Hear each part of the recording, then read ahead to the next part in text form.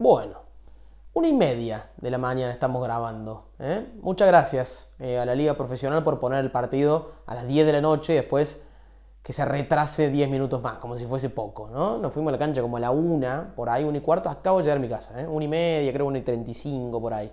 Así que, antes que nada, antes de hablar un poco del partido, un me gusta, una suscripción, que es gratis, acá abajo, aprieta la campanita, lo que vos quieras, ayúdame, ayúdame porque 1 y media, sinceramente tengo ánimo de dormir, pero yo este contenido lo hago para ustedes, ¿eh? Eh, y lo hago ahora porque me gusta hacerlo ahora, porque me gusta hacerlo después del partido, porque tranquilamente podría esperar hasta mañana a la mañana, pero no es la idea, porque no es la idea del video, no es la esencia del video. Eh, vamos a hablar un poquito de lo que dejó la derrota de Instituto en, Alta Córdoba, otra vez de local, otra vez de local. Yo no sé qué pasa con Instituto de local. Eh, es algo, digamos que rosa lo inexplicable, porque no es que Instituto está jugando mal, no está atravesando un mal presente. Eh, la realidad es que la gente está contenta con el equipo, con el plantel, con el técnico, con la institución, digamos. Es raro que un equipo, porque no es que se achica futbolísticamente, porque juega en Alta Córdoba, porque propone, pero algo pasa, no sé qué es, pero algo pasa. Creo que de los últimos 11 partidos, 10 partidos, ganó 2 en Alta Córdoba Instituto. Aparte en Córdoba, en donde si, te vas a, a los de la vereda del frente, te vas a Talleres, te vas a Belgrano, se hacen fuerte en Córdoba.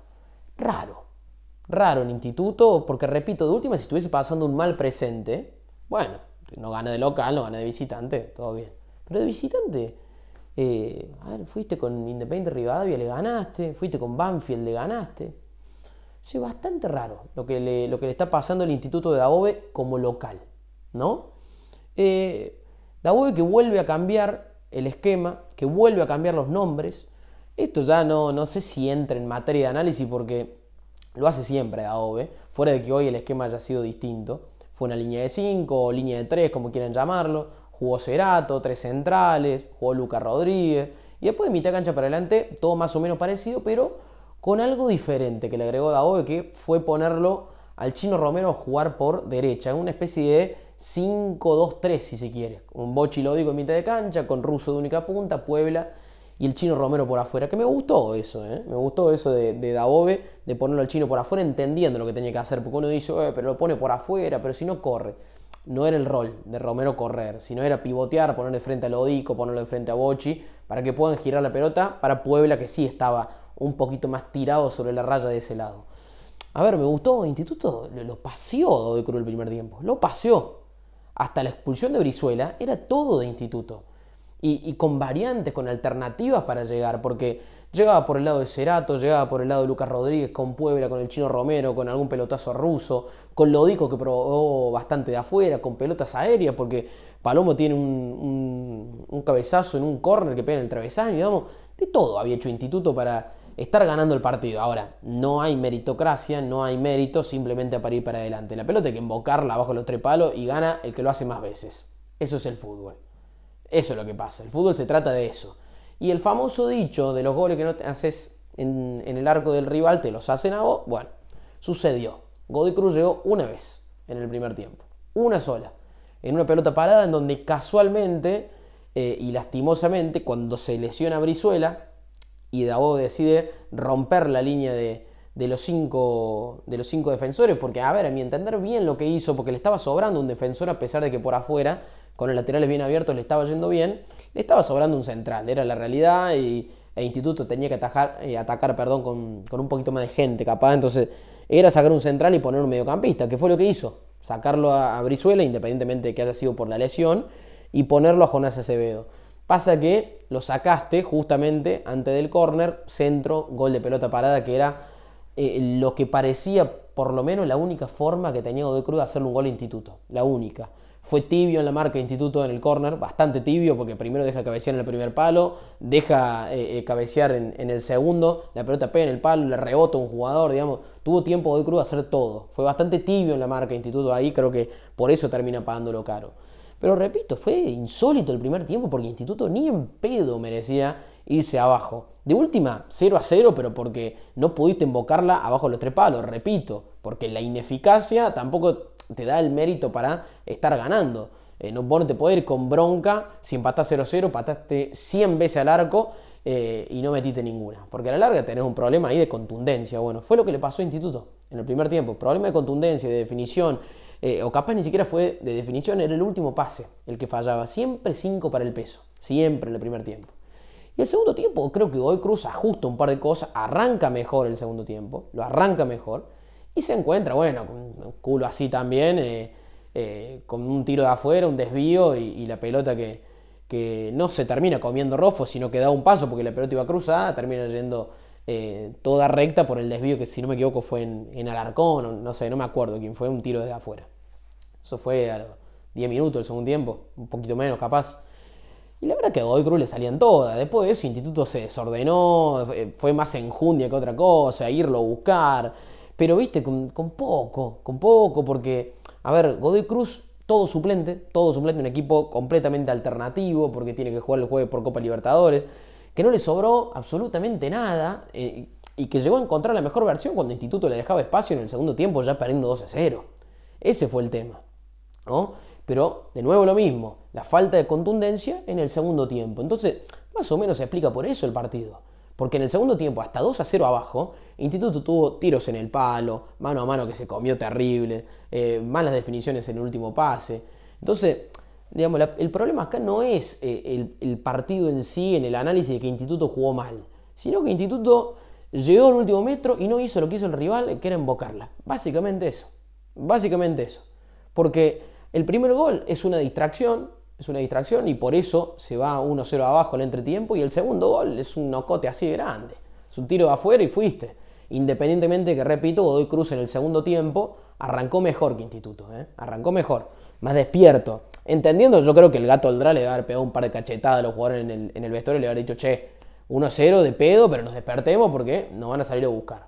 Que fue lo que hizo Instituto a partir del segundo gol de Godoy Cruz. Pero bueno, lo mismo, tiros en el palo, muy errático, eh, y no le terminó sirviendo nada de lo que hizo Dabove. Después, un cambio muy raro, porque si bien le destaco el planteo de Dabove porque la cosa iba bien, después hubo un cambio muy raro que fue sacarlo a Puebla. No lo entendí, entiendo que Instituto tiene que jugar el jueves, que los jugadores están cansados, que Puebla seguro que va a ser titular contra Gimnasia de la Plata. Pero sacarlo a Puebla, perdiendo 2 a 0, cuando el partido está más para un rapidito que para eh, los tipos con tenencia, eh, se pareció raro. No, sé si Puebla habrá pedido el cambio, no, no, no, no, no entendí el cambio de Puebla. Para mí Puebla no tiene que salir nunca. Y sé que es un jugador que no quiere salir nunca. Por eso me pareció bastante raro el cambio de Aboe. Eh, pero fuera de eso, viste, tampoco es que lo puede criticar tanto, porque sacó un defensor para poner un volante, es ir a buscar el partido. ¿no? Después lo puso Santiago Rodríguez, para mí lo tiene que empezar a poner un poco más de tiempo. Eh, lo puso Suárez. Eh, hizo cambio como para salir a buscarlo al partido, es la realidad. Eh, después de eso, eh, creo que, repito, todo se termina definiendo en, la falta de contundencia, en una noche eh, paupérrima de definiciones para instituto. Es la realidad. y después puede haber cierta crítica de lo individual. Yo creo que Rofo no tiene ningún tipo de responsabilidad en los goles.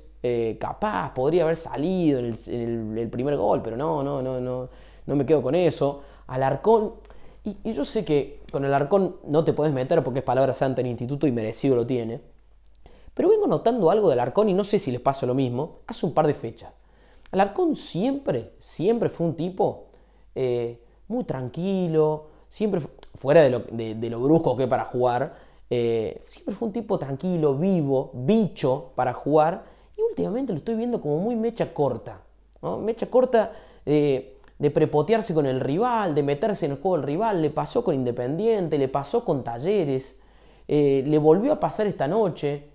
Y, me, da esa sensación, se mete mucho en el juego de, del del frente, cuando es un jugador que siempre fue bastante inteligente para eso, para no entrar eh, en, la chicana, ¿no?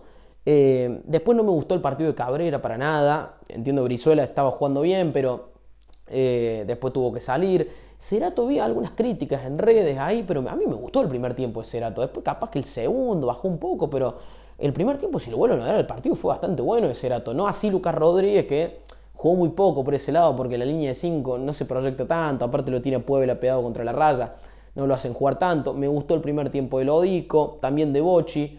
Eh, el chino Romero, como les dije, jugando simple, entendiendo su lugar. Russo lo mismo. Instituto jugó muy bien los primeros 45 minutos. Después bajó. Después bajó. Yo creo que el, gol le hizo mal. eh, y, por eso es que termina perdiendo el partido. Jugó un segundo tiempo no tan parecido al primero, sí llegó bastante y erró lo mismo en el primero y en el segundo tiempo. Yo creo que se define en eso. Por último, antes de cerrar, y quiero que me dejen su análisis en los comentarios, eh, como siempre, yo necesito que hagan algo. Hagan algo con el arbitraje del fútbol argentino. Hagan algo.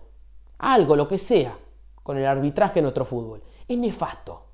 Nefasto. Y ya ni siquiera tiene que ver con la calidad de los árbitros, ni siquiera con el accionar que tienen adentro de la cancha. Ya no tiene que ver con eso.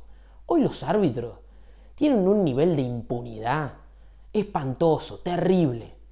Hoy los árbitros te prepotean, hoy los árbitros se te paran de frente, te ponen el pecho, te empujan, se hacen los guapos, miran a la tribuna. Pero ¿quién se creen que son? Después sale Federico Beligoy hablar en los programas masivos de la televisión del país diciendo estamos eh, en el mejor momento del arbitraje del fútbol argentino. En el mejor momento. Nosotros exportamos arbitraje. Pero lavate los dientes, Beligoy. Lavate los dientes antes de hablar del arbitraje, que es pésimo. En el fútbol argentino es pésimo. Y ya lo peor, que es lo preocupante, no es que sea malo, sino que los tipos son soberbios. Son soberbios. Los lo, lo los Espinosa, los Merlos, son todos uno peor que el otro. Lo que hizo hoy Baliño en el Instituto Godoy Cruz no tiene perdón, no podés empujar a un jugador, no te le podés parar de frente como si lo fuese sacar a trompadas y después encima salir rodeado de patobica de la cancha. Claro, así cualquiera. Árbitros que en principio te la pintan de localistas y que después abusan de eso y salen cubiertos. Así somos todos bastante bichos. Pero bueno, viste. A mí creo que me corresponde decirlo a pesar de que sé que no va a cambiar nada. ¿Qué sé yo? Gente, análisis en los comentarios. Nos vemos.